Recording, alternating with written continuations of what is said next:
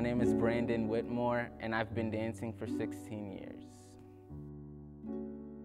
I feel like I'm something different. I'm not a typical ballet dancer, a typical modern dancer. I don't have the feet, I don't have the extension, I don't have the body to do a lot, a lot of these things these incredible dancers in here can do. But I've learned that you have to work with what you have. Like you can't just cry about it and you just have to push and push and push. And when you push, you'll see growth. As a student, Brandon very unique because his, um, his interest is not just dance. He's very deep in music and theater and literature. He's very wise, very educated.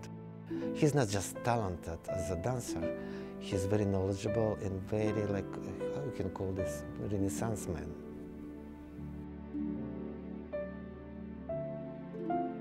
I think I was six years old and I was always complaining about my ankle, but they never knew what it was. So, and they were like, well, we'll see um, if he grows out of it.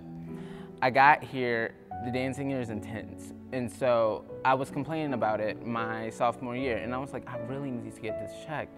So I went to Steadman Hawkins and they did an MRI on my ankle. It ended up being a extra bone stabbing against one of my nerves. Every time I would go in releve, every time I would point my foot, it would stab. So that injury had me out basically my whole sophomore year. No one really knew, but it, it was definitely a hard thing for me. I would find myself crying for no reason, um, flipping out on people, I would sit in dance class, and Stas, um, my dance teacher, said he couldn't even look at me because he knew how bad I wanted to be on the floor working. And during the healing process, um, when I got my wrap off of my foot, the day, I remember the exact day I got the wrap off of my foot, I came in here, and turned the lights off, and started doing my own rehab. Um, going at that bar right there, looking out that window, that window was my inspiration. I was like, I am going to do this. And I would push through the pain, I would push through it.